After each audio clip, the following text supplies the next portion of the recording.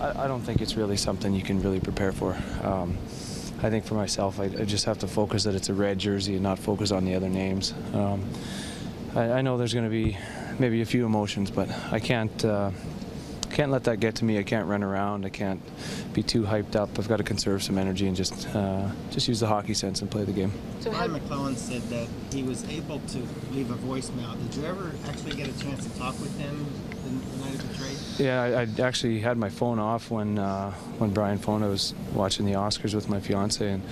Um, and then just got his voicemail, but I, I, gave him a call back, left him a voicemail, but I haven't spoken with him yet. No. What are your emotions when you when you get that voicemail? Um, first one is taken back a little bit. You're uh, surprised. You're shocked. Um, I had never asked for a trade. I had conveyed my thoughts to him that I spoke with him, spoke with the coaching staff that said I wanted to be part of it.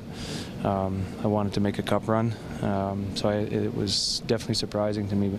But, um, you know, my fiance was amazing through it. She was with me. She was by my side when we found out.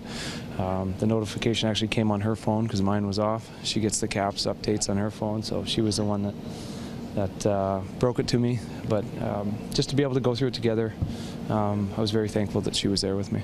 Is there some frustration with you know this being one of the best teams that you were on with the Caps and have not being able to see them through? Um, yeah, I mean, really the sense that we had with this year's team um, was that there was something very special in the works, and um, that's what I said. I I had conversations with management and and told them that I, I wanted to be a part of it. Um, unfortunately, it didn't work out, but can't sit here and dwell on it. Can't can't um, can't let it hang over my head. Uh, it's tough to close that chapter. It really is. Hopefully tonight will help me do that. I know we're back here pretty quick, but um, run towards the fire, right? So.